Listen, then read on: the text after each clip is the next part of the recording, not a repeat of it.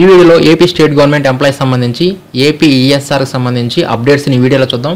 మనకి AP ESR సంబంధించి online అప్డేషన్లో కొన్ని మార్పులు అనేవి ప్రస్తుతం చేయడం జరిగింది. వాటి గురించి చూద్దాం. అవేంటంటే ముందుగా పార్ట్ వన్ పర్సనల్ డీటెయిల్స్లో ఇక్కడ మనకి హోమ్ టౌన్ డీటెయిల్స్ ఉన్నాయి కదా. ఇదివరకైతే హోమ్ టౌన్ డీటెయిల్స్ మనకి ఎడిట్ అయ్యేవి కాదు. ఇప్పుడు ఈ హోమ్ టౌన్ డీటెయిల్స్లో మనం ఎంటర్ చేసిన ఆ డీటెయిల్స్ని మనం మరలా అప్డేట్ అనేది చేసుకోవచ్చు. దానికి సంబంధించి కింద అప్డేట్ అని ఒక ఆప్షన్ అనేది ఇవ్వడం జరిగింది. కాబట్టి మనం ఒకవేళ ఈ హోమ్ టౌన్ డీటెయిల్స్ని మనం తప్పుగా నమోదు చేస్తే మరలా వాటిని మనం అప్డేట్ అనేది చేసుకోవచ్చు. నెక్స్ట్ అదేవిధంగా part three four five SR ఈవెంట్స్లో ట్రాన్స్ఫర్ సెక్షన్స్లో దీంట్లో మనకి ఇక్కడ మనకి డీడీఓ కోడ్ అనేది అవైలబుల్గా లేనప్పుడు అంటే మనం గతంలో ట్రాన్స్ఫర్ అయ్యాం. ఇప్పుడు ఆ డీడీఓ కోడ్ అనేది లేకపోతే అప్పుడు ఏం చేయమన్నారంటే లెవెన్ డిజిట్స్ మొత్తం డీడీఓ ఒక లెవెన్ డిజిట్స్ ఉంటుంది కదా ఆ లెవెన్ డిజిట్స్ని అన్నిటినీ వన్ అని చెప్పి పెట్టేసేయమన్నారు. ఈ విధంగా వన్ అని చెప్పేసేసి పక్కన మీరు ప్రెస్ చేయండి. ప్రెస్ చేస్తే ఇక్కడ మీకు ఆర్గనైజేషన్ యూనిట్ వద్ద మీరు ఎనీ అదర్ అని చెప్పి సెలెక్ట్ చేసుకోండి. అదేవిధంగా పొజిషన్ కూడా ఎనీ అదర్ అని చెప్పి సెలెక్ట్ చేయండి. అప్పుడు ఇక్కడ కింద ఒక బ్లాంక్ స్పేస్లు వస్తాయి.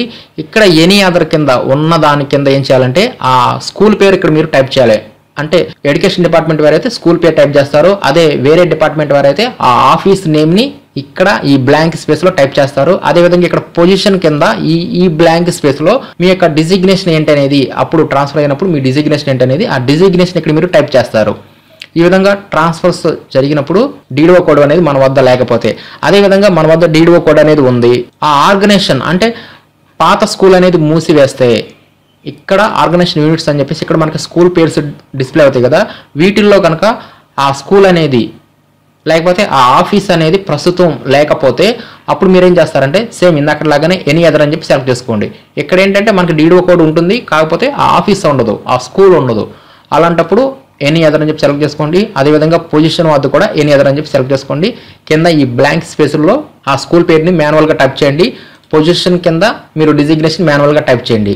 అదేవిధంగా ఈ టూ వద్ద ఇక్కడ కూడా మీకు అదే పరిస్థితి వచ్చినప్పుడు అంటే ఆ స్కూల్ అనేది కానీ లేకపోతే ఆఫీస్ అనేది కానీ లేనప్పుడు మీరు ఇలాగే డీడో కోడ్ని సెలెక్ట్ చేసిన తర్వాత ఆర్గనైజేషన్ యూనిట్లో ఎనీ అదర్ అని చెప్పి సెలెక్ట్ చేసుకోండి. ఈ విధంగా ట్రాన్స్ఫర్స్లో కానీ లేకపోతే ప్రమోషన్స్లో కానీ గతంలో మనం పనిచేసిన ఆఫీస్ కానీ ఆ స్కూల్ కానీ లేనప్పుడు ఎనీ అదర్ అని చెప్పేసి ఒక ఆప్షన్ అనేది ఇచ్చారు. కింద మీరు మాన్యువల్గా ఆ ఆఫీస్ నేమ్ని టైప్ చేయవచ్చు. అదేవిధంగా మనకి ఎంప్లాయీ కన్ఫర్మేషన్ అని చెప్పేసి కొత్తగా ఒక ట్యాబ్ అనేది యాడ్ చేయడం జరిగింది. దీంట్లో ఎంప్లాయీ స్టేటస్ అని చెప్పేసి మన పేరు date of birth date of joining ఈ విధంగా మనకి మన ప్రైమరీ డీటెయిల్స్ కనిపిస్తే మన పక్కన మన ఫోటో కూడా డిస్ప్లే అవుతుంది. దీంట్లో మనకి కిందకు వచ్చేస్తే ఇక్కడ అన్ని పార్ట్స్కి సంబంధించి ప్రస్తుతం లెవెన్ పార్ట్స్ ఉన్నాయి కదా ఆ లెవెన్ పార్ట్స్కి సంబంధించి ప్రతి దాని కింద కన్ఫర్మ్ అని చెప్పేసి కింద ఒక ఆప్షన్ అనేది యాడ్ చేయడం జరిగింది. అంటే మనకి personal డీటెయిల్స్లో basic details photo details family details ఇలా ప్రతి దానికి కింద కన్ఫర్మ్ ఉంటుంది.